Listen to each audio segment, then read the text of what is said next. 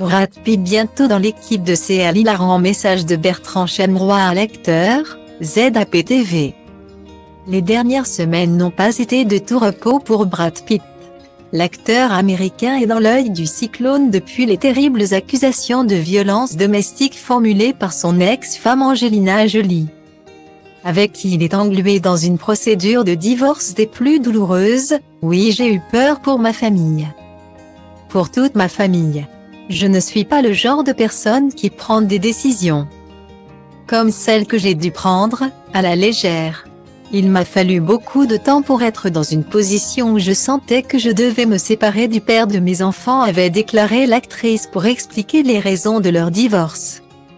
Mais le grand ami de George Clooney a également fait les gros titres de la presse people américaine qui lui a prêté une relation amoureuse avec Emily Ratajkowski star des réseaux sociaux et elle aussi fraîchement divorcée.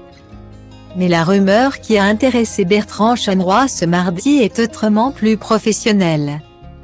Le chroniqueur de CAVOUS a en effet souligné lors de sa traditionnelle intervention que l'acteur américain serait sur le point de signer un deal avec la société de production Media. Point en charge du talk show de France 5. Pour fêter, ou plutôt parodier, cette grande nouvelle. Le trublion de l'émission a réalisé une hilarante vidéo dans laquelle il fait la promotion. Dans un anglais approximatif, de ses avoues et de leur bureau. La cantoche pour manger des carottes râpées. La machine à café, la salle de repos ou encore la photocopieuse, tout y passe. Même l'équipe de l'émission a participé au sketch. Patrick Cohen rejoue George Clooney dans une pub pour Nespresso et son mythique Hotels. Tandis qu'Anne-Elisabeth Lemoine frappe la photocopieuse avant de s'excuser.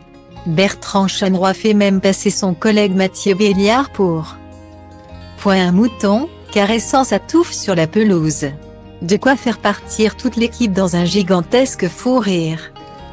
Tout comme les invités du soir, notamment un Benoît Poelvord déjanté.